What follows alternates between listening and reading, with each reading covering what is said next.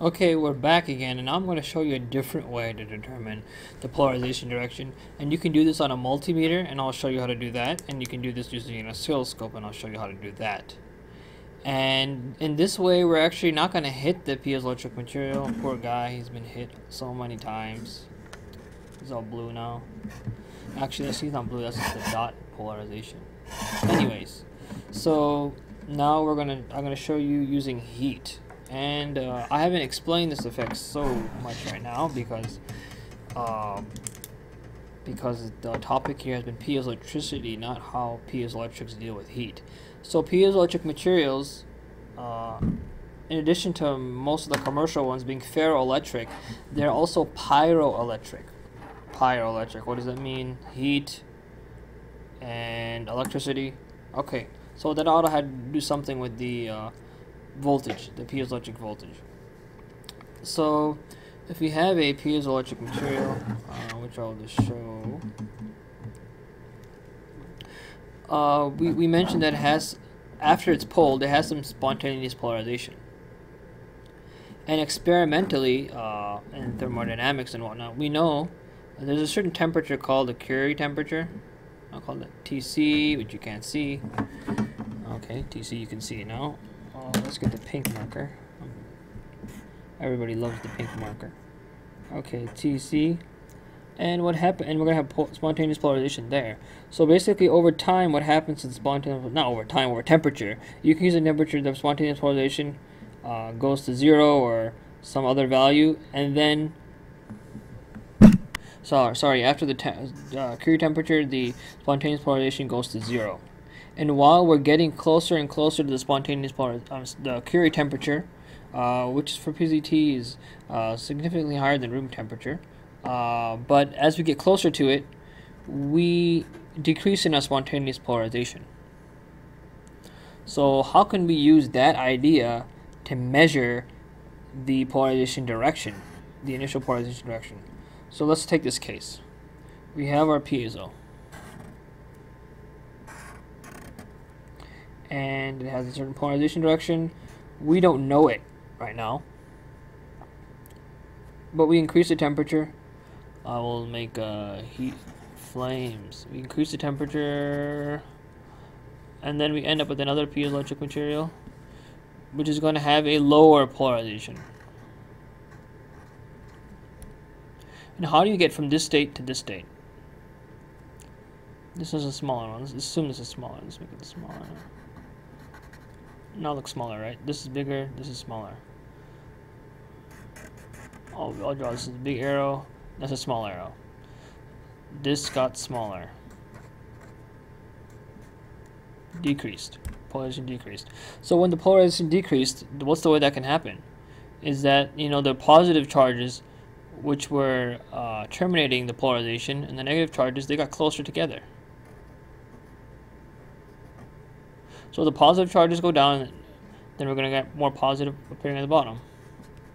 This is the charge imbalance that the, the, how the material balances out the charges because the charges have to go somewhere because we're not connecting it to an external circuit.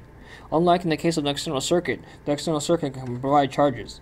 But in this case, the there's no external circuit, so if there's going to be a change in polarization, it's going to be uh, accounted by something, and that is charges appearing on the surface. So here we go. So that's that.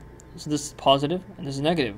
So again, again, again, uh, if we find ourselves measuring a positive voltage, then we know that we should put our dot there. Because remember, as in the last video, the dot goes on the tail of the polarization vector. The polarization vector is not going to reverse just by heating it. Uh, so it goes on the Taylor polarization and, and, and actually if we end up measuring uh, the other case so this is a positive voltage we're measuring on the back where we're going to put the dot we want to measure the positive voltage. I'm going to say it again. We heat it. We measure a positive voltage. The dot goes on that side where you're measuring the voltage. If you heat it and you measure a negative voltage somehow well not somehow you measure the voltage difference you know measure the voltage difference and it equals a negative number and um, this was your reference voltage then you know that the polarization vector terminates there, so you put it on the other side. Apologize for the drawings, but um, I think it's clear. The when you heat up the material, the polarization decreases. The polarization decreases, decreasing uh, results in uh, um, balancing charge. Charges will appear on the surface.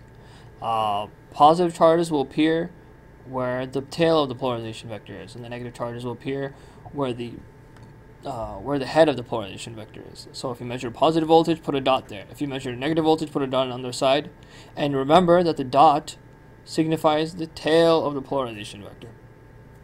So now we're actually going to do it, and we're going to do it using both a uh, function, both a oscilloscope and a uh,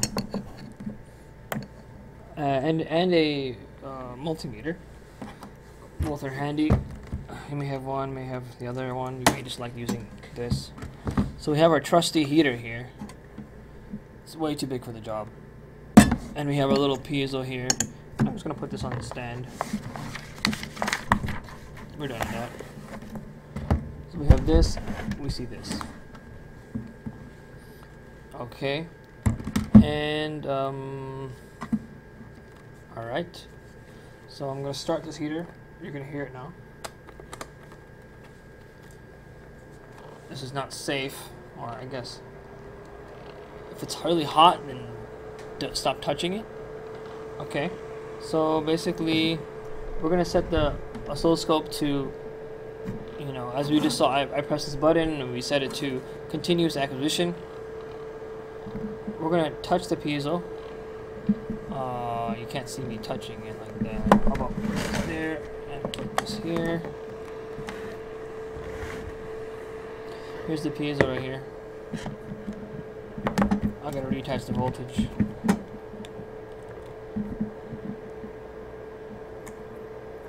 So I'm touching the piezo just like I did last time.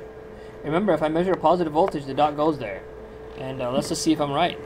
All these all these equations that I've been claiming. This is the top. Remember, no dot. There's no dot on this side. The other dot. The other dot has a side that, that I labeled last time. See, that's the dot right there. Oh, okay, it's falling over. Don't do that. There, that's the dot.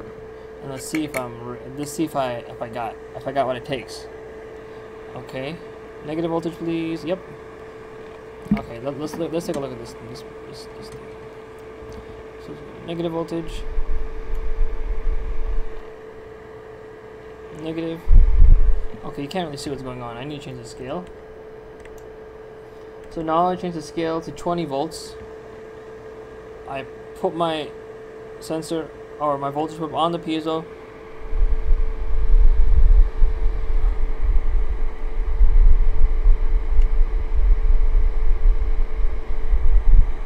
Okay, I think I might use the too high voltage.